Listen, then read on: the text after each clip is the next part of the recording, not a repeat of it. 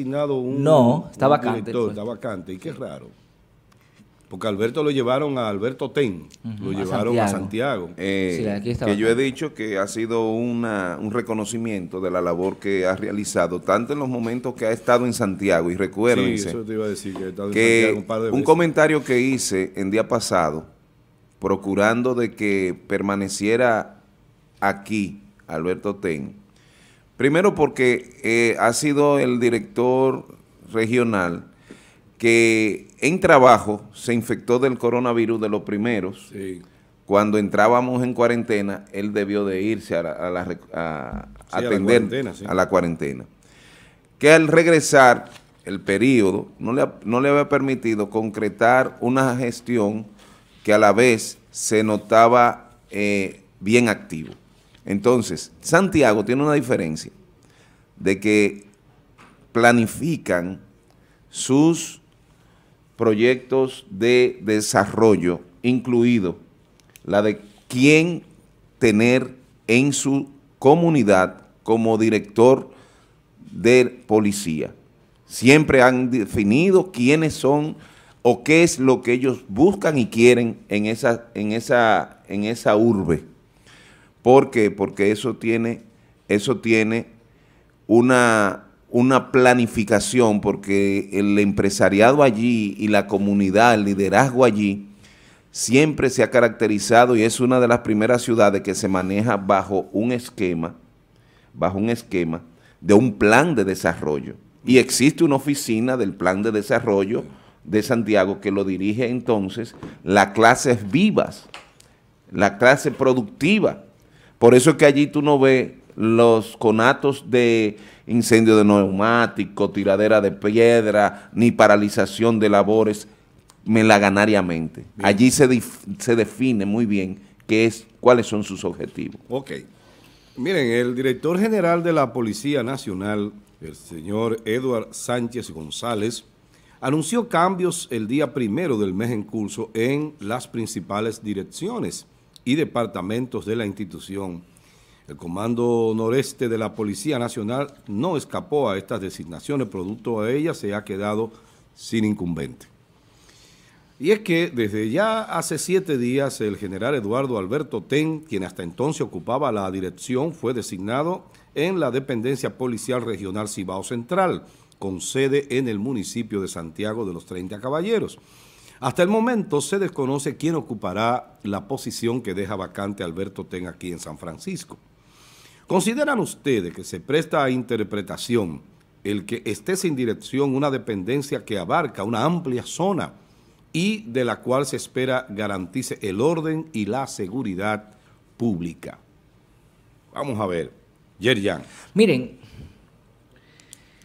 es evidente que el partido de gobierno, el PRM, Partido Revolucionario Moderno, no estaba preparado para, para ganar las elecciones. No se prepararon realmente para gobernar. Y por eso ustedes ven que hay tantos impases. No solamente es en la policía. Hoy, fíjense ustedes que, que- movieron al, al director de turno y que el puesto ya tiene aproximadamente una semana vacante.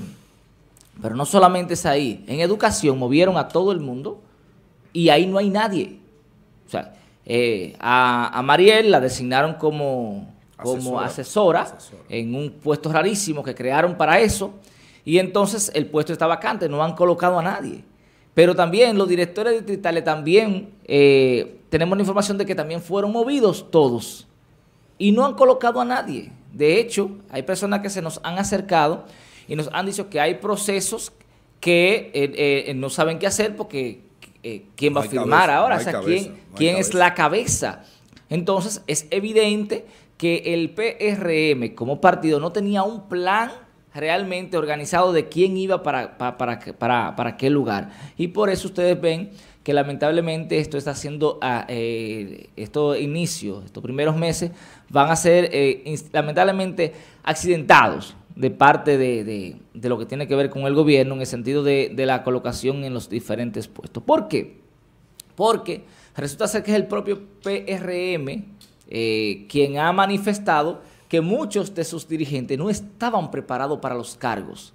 Lo dijo Paliza, dijo, vamos a preparar a los PRMistas para que ocupen eh, los puestos. O sea, ustedes no sabían que no, que, no estaban preparados, la mayoría de PRMistas, para ocupar los puestos.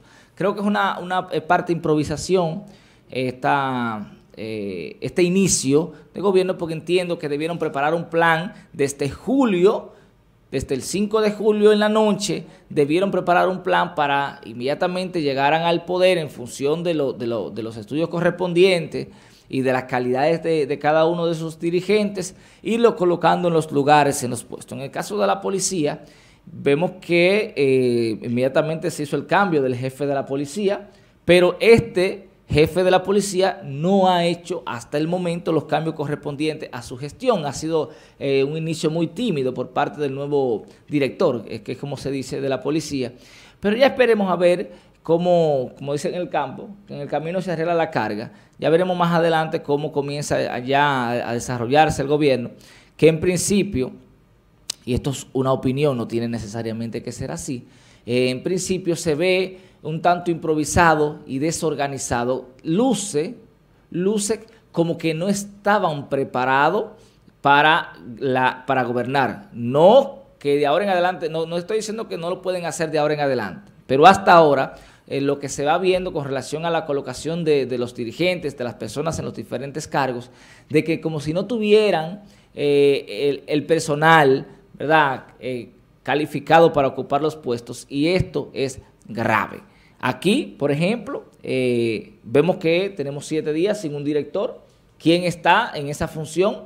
Está Céfalo, ¿verdad?, la Dirección Regional Oeste de la Policía, eh, quién está dirigiendo ahí, pero, pero también en educación. me imagino que es el, pero en educación... De mayor rango después del general. Que según nuestras fuentes eh, nos han manifestado que para la Dirección Regional de 07 de Educación se ha, se ha señalado, esto es extraoficial, a la señora Guadalupe Bruno Paula, pero no ha sido designada. Hay aparentemente un tranque ahí. Recuerden ustedes que había sido señalada otra persona, eh, pero que aparentemente había un impasse ahí que no, tenía, ¿verdad?, las calidades para, ocupar el cargo, aparentemente, y entonces se eligió a otra. Y ahí todavía está ese impasse. Igual que el, director, eh, en el caso de la dirección distrital 06, que según nuestra fuente ha sido señalado ahí el señor Dionisio Ortega para ocupar ese puesto, pero tampoco ha sido designado. Y para la dirección distrital 05, Berenice Castellano. Entonces, si ustedes se dan cuenta, el, director del hospital, que supuestamente también va a ser cambiado, hay un impasse ahí, está el, director que era del PLD, que es el doctor Eureña. O sea, en, una gran parte de los puestos siguen estando la gente del gobierno pasado. ¿Por qué? Porque o no se ponen de acuerdo a lo interno del PRM o no estaban preparados, eh, no habían hecho ese, ese, ese trabajo de, de ubicar a las personas en sus respectivos puestos. Francis. Miren, pudiera pensarse que la ausencia o el haberse designado en otra localidad al incumbente o director regional nordeste, pero creo que la infraestructura policial y de la seguridad ciudadana está más que establecida, aunque, la, aunque siempre la figura de una cabeza de un director es esencial. Pero atendiendo a que estas son instituciones que manejan muy bien su, esa infraestructura y que la sociedad y la clase o la delincuencia en este caso, que es lo que se teme, que en ausencia de una cabeza se incremente. Pueden existir esos ingredientes, pero no creo que tenga mayores problemas la ciudad, porque aquí hay una estructura de administración policial que están los departamentos de investigaciones, porque normalmente el general no sale a la calle a hacer los trabajos tácticos, ni de persecución, ni de... sí dirige al cuerpo. Pero ese cuerpo está funcionando está y estamos confiados que la asociación, y esto es un poco jocoso, la asociación de delincuentes o de atracadores de aquí debe estar más que corregido con este tema de, la persecución, porque creo que no se le está dando un trato de simpleza, se está persiguiendo y nosotros entendemos, a pesar de que se han incrementado aquellos que son eh, atracos focalizados, porque ellos están cambiando de, estilo. No lo pueden hacer virtual porque virtual no hay mucha efectividad porque son otro tipo de delincuentes, porque están también extorsionando, hay gente que está extorsionando. Y nosotros tenemos como pueblo una ausencia de control de muchas de esas modalidades de la delincuencia que ha ido a través del tiempo transculturizándose también en los métodos, en las formas, y eso sí hay que tener cuidado. Hay individuos que se dedican a observar a sus víctimas y le tienen ciertamente muy bien ubicados.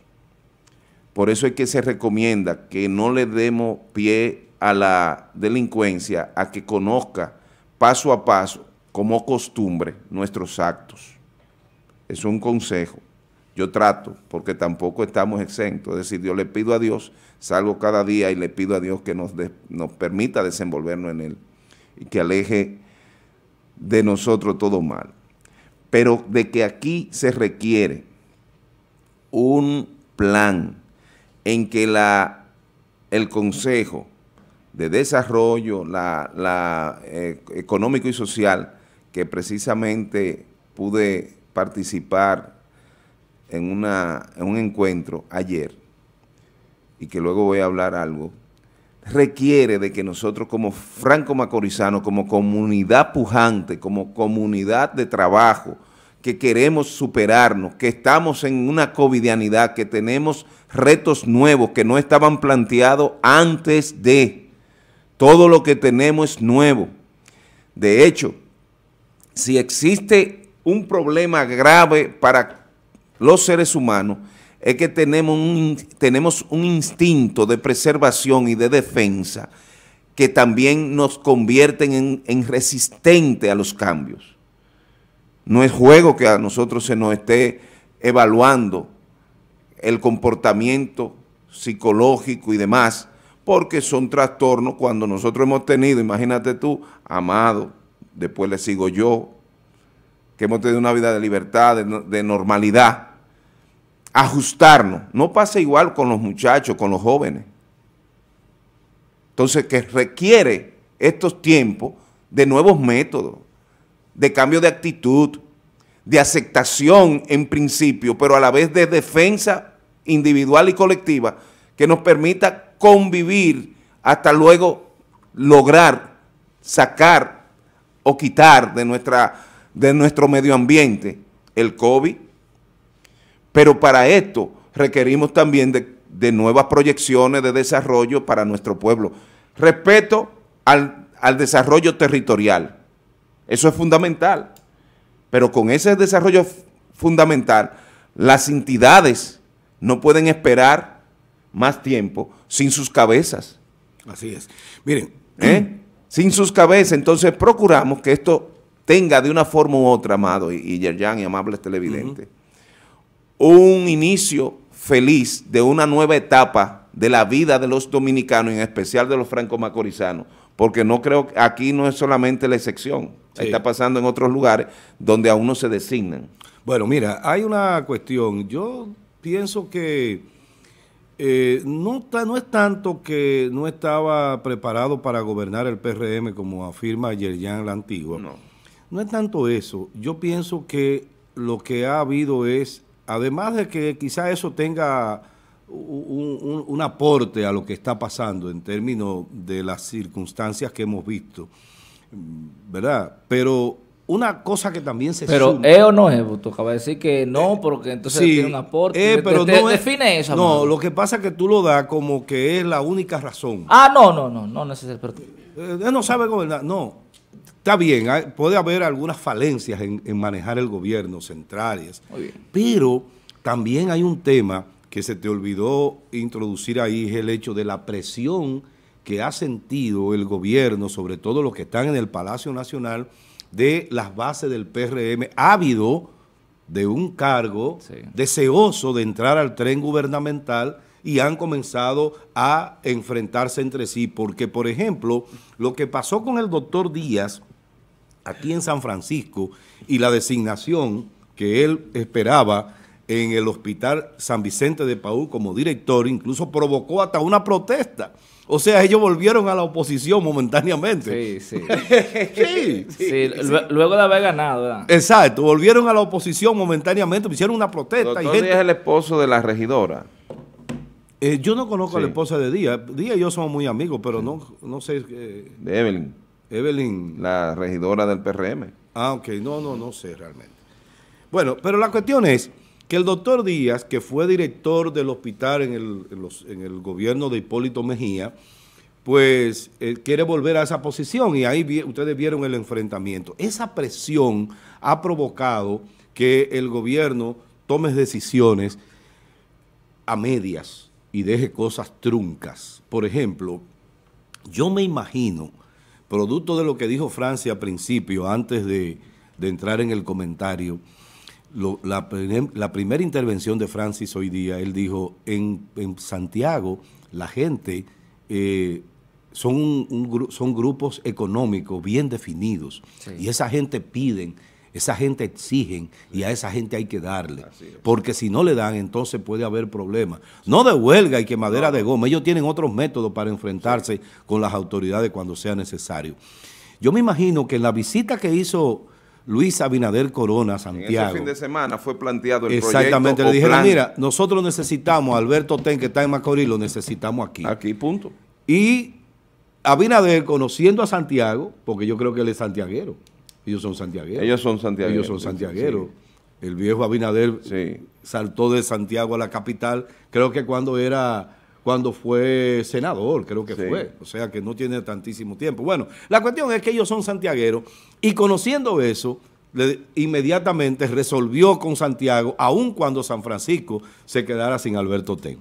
Me imagino que fue así que pasó. Yo estoy elucubrando. Yo no sé lo que pasó en, ese encuentro, en esos encuentros que tuvo el presidente, pero me imagino que eso fue producto de lo que está pasando aquí. Yo pienso lo siguiente. Eh, indudablemente que al jefe de la policía lo, obligaron a tomar una decisión sin contar con quién sustituiría al director regional noreste de San Francisco de Macorís. Y yo pienso que ahí está el personaje que lo puede sustituir de manera perfecta, el, coronel Sierra Difo. Un, tipo, un tipo nuestro, no importa que no, que, no sea, que no fuera nuestro, pero bueno, ese es un plus que él tiene, es nuestro pero además es un policía de muchos años, es un policía de mucha valía, es un policía con una historia detrás. Y muy preparado. Por eso, un policía con una historia detrás, que yo estoy segurísimo, como que me llamo Amado José Rosa, que ese policía no va a poner ni una pizca así en riesgo su nombre y el de su familia por una mala actuación. Eso es seguro. No, no, eso es seguro. Eso, inimaginable, dice. Exactamente. Inimaginable. Entonces, el hombre más adecuado para esa posición, no importa que sea coronel. No, bueno, eh, eh, la, designación, te voy a decir, de coronel, para es válida. Es válida porque eh, coroneles han sido los jefes de manada o de, o de, de batallones más acertados porque donde hay control del generalato, recuérdate que ser general aquí estuvo en un momento un poco relajado, cualquiera era general en este pueblo, en este país, y de hecho muchos han muerto, pero siguen cobrando como generales.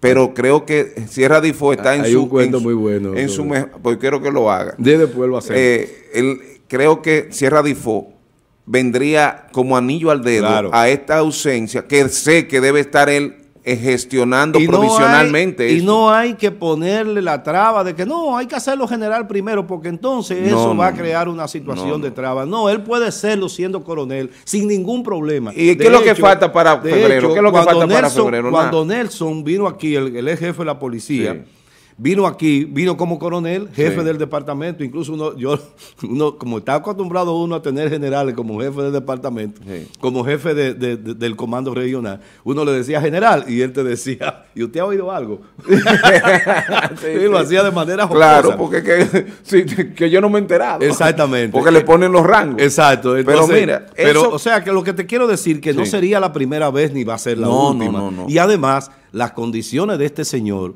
son extremadamente altas. O sea, estamos hablando de un hombre de un, eh, de un alto desempeño que para nosotros sería magnífico tenerlo como jefe regional. Y tú Sí, sabes sí. qué, qué le favorece.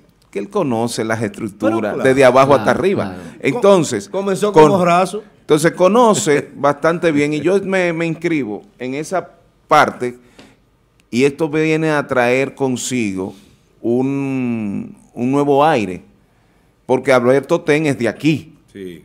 de, ese- de- de- de- de- de nosotros también. Sí. Pero miren cómo se ha dado el reconocimiento, digo yo, eh, eh, eh, digo yo, que se ha dado el reconocimiento en razón, en razón, de que pasa a una plaza de mayor eh, población y de muy alto rendimiento económico, porque Santiago, obviamente que es la segunda eh, de urbe importancia, sí. de importancia en la República y nosotros como tercera no menos importante porque de hecho nosotros nosotros tenemos aquí un haber de ser una de las regiones de mayor índice de, de, de-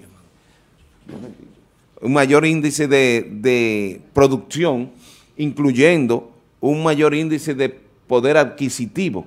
Andamos por Sí, encima de, sí, de Santiago y, de, ciudades, sí. y de todo el país. Así es. Andamos por un 66, incluso con la, prover- la pobreza aquí no se registra una, pobreza extrema. Extrema, ¿no? No, aquí hay pobres con una calidad Claro. de vida diferente a la de otros pobres. Pero mira, este, yo pienso que, eh, lo que lo que el gobierno tiene que evitar en gran medida es cambiar, hacer un cambio y dejar ese Mira. el, el órgano sin, sin Pero se sin supone, cabeza. se supone que Félix eso tiene, tiene que ser una Ah, planificación. sí.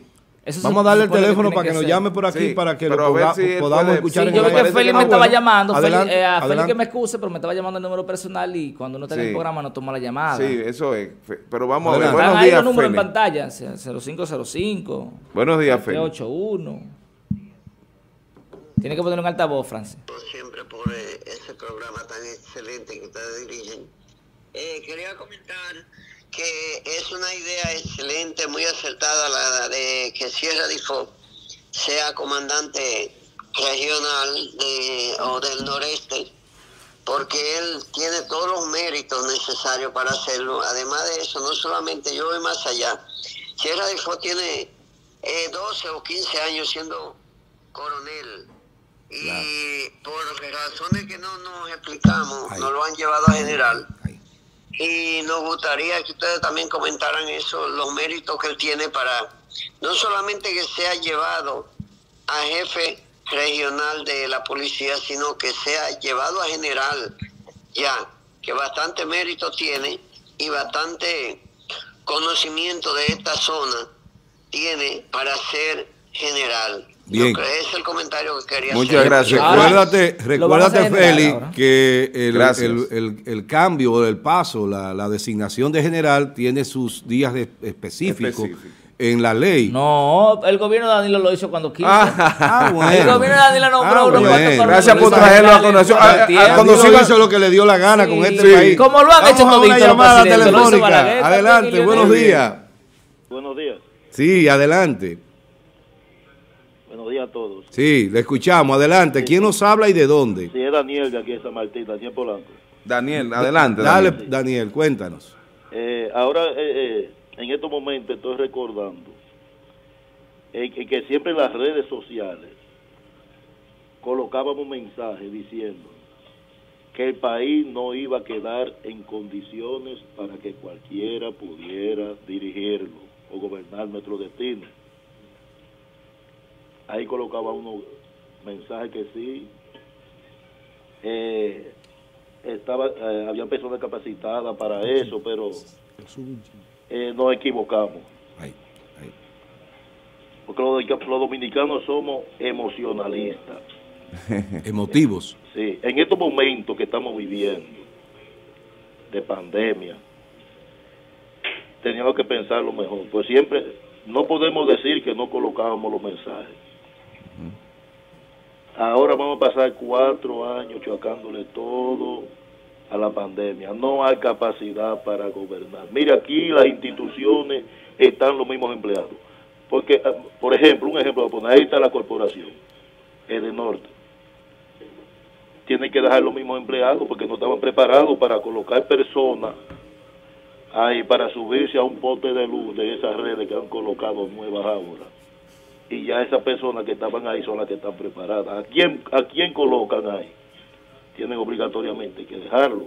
Y así está sucediendo con todas las instituciones de San Francisco de Macorís. Bueno. Porque es que no, no, no, no, no, esto no, esto no está para que cualquiera. Bien, gracias, eh, muchas gracias por tu participación. Yo creo que, que, que, no deja de tener cierto valor el, el opinar de que si el, PL, el PRM, lo primero que tiene que entender las bases y el propio PRM, que no ganó producto de su militancia per se, sino que hubo un país que le votó para cambiar lo que existía. Hubo un cambio, un, cambio de actitud Entonces, obviamente que ellos hay que, en, en, la efervescencia, sí hay que bajarle un poquito el grado a algunos de ellos, sí. que se creen que, que ciertamente es por ello. Bien. Solamente por ello, no, no. Sí, Ahí el, ustedes son. Lo que ellos están reclamando, Francis, es, es que ellos ganaron y que le están nombrando gente que ellos entienden que no han hecho, que no hicieron ningún esfuerzo y ellos tienen el derecho a reclamar. Pero esa parte ejemplo, es lo que estoy reconociendo. Están nombrando gente de la sociedad civil. Es su presidente que, que, está haciendo eso. Eh, que le estaban claro. nombrando a y gente mira, de la sociedad civil sí. que antes lo que se, se, se, vendían como imparciales y que ahora están en el tren gubernamental y eso no le gusta a los no, políticos. Pero a ninguno ganas, no le gusta. Si, si Luis Abinader quería ser totalmente independiente y nombrar gente que no fuera del partido, tenía que irse solo. Pero él utilizó la militancia del PRM final, para llegar al poder. Miren, ahora tiene que responder. Mira, al final yo quiero hacer un llamado. Pero eso, va, eso va a llegar. Déjeme hacer un llamado. Eso tiene que llegar, escúchame, amado, eso tiene que llegar porque de hecho se están haciendo los movimientos. Recuérdense que hay algo que no lo estamos planteando. El PLD saliente se encargó mediante resoluciones, cambios de ley, que no solamente se basó en la ley 4108 para sostener los cargos vía lo que se llama carrera administrativa que hay que respetar para evitar que cada vez que se haga un cambio se pierda una cantidad de gente con una capacidad laboral importante, pero ese no es el caso. El caso son lo del normal remoción que deben sustituirlo los que ganaron, como Bien. dice Yarjan. Claro, pero ojo, correcto. hay una serie de, de mecanismos que dejaron instalados, como es el caso de la resolución 2417, que yo di mi opinión para cómo atacar esa decisión para educación. Mira lo que está pasando. Bien, mira, mira, hay una cuestión. Eso no es culpa yo del quiero, gobierno que yo no quiero, lo ha hecho. Yo quiero aprovechar el programa, este programa que se ve enormemente y que la gente está, le damos un seguimiento sí. muy cercano. Siempre. Quiero aprovechar para hacerle un llamado como amigo, como ex profesor y como ciudadano franco macorizano a Xiomara Cortés, gobernadora civil y provincial de San Francisco de Macorís, del, de la provincia de Duarte, para que eh, interponga sus buenos y valiosos oficios, como se dicen en, la, en las comunicaciones, a fin de que el presidente de la República coja una solicitud de designación, bueno, el jefe de la policía, que en este caso que lo hace, pero a través del, del, del jefe, máximo. del jefe máximo para que designen a Sierra Difó como director regional de la Policía Nacional. Yo, creo, yo, me sumo a eso. Creo espere, que tendríamos un gran director. Y espere a febrero su, su, su ascenso. Exacto. Que bien puede serlo. Exacto, perfectamente. Bueno, señores, vamos a la pregunta del día. ¿Considera usted que falta de director regional noreste en la Policía Nacional podría contribuir al aumento de actos delictivos? Ya lo dijo el consultor jurídico de la Asociación de Atracadores. No, pero eh, el, yo, me dicen que eh, San Francisco de Macorís, atención a propósito, no, está la asociación tiene que, te, que, se tranquilice, la asociación. San Francisco de Macorís no de, no de tregua. es sí. un campo de tiro en todas partes. Hombre, sí. En San Martín, en Hermanas Mirabal. Me dicen incluso que en la calle Prolongación del sector de Sila Pepín, frente al parquecito, es también un campo de tiro en las Hay un sitio que se llama Troca por ¿Qué es allá arriba. Yo no sé lo que ustedes lo conocen. Un campo Troca. de tiros. Por lo menos en San Martín, yo que vivo cerca Mm. por ahí, yo escucho eso. la y a veces uno como que, Me como dicen- se baja porque uno no sabe. Me dicen que en el. Troca se tira tiro todos los días. Todas las noches se tira. Bueno, No ahí- entiendo. ahí- el, el control de armas en la República Dominicana, ¿qué tal de eso? Bueno, bien, gracias. Qué chiste Vamos a los. WhatsApp, mis amigos. A ver qué dicen nuestros amigos ya Miren. acerca de la pregunta del día. Bueno, tenemos una llamada. llamada. Sí, adelante. Buenos días. Sí, buen día. Buenos días, madre. para mi hijo Francis y para ustedes. Buenos días. Bienvenido. Súbale un chin, por favor. Bienvenido. muchas Mira. gracias, Lourdes. Muchas gracias. Disculpe, es que no se Mira, oye bien aquí el retorno. Sí, respecto a la designación de Tierra Difo, yo estoy hace acuerdo. Para mí ya la- era general. Por eso, por lo que ustedes han dicho, por su capacidad de funcionamiento, por su humanismo, porque es nuestro. Y hace tiempo que yo había comentado con mi hija yo, pero yo creía que si era de fuera general. No, no. Así es que yo estoy totalmente de acuerdo con que lo nombren como comandante regional. debemos de hacer de- un movimiento. Exactamente.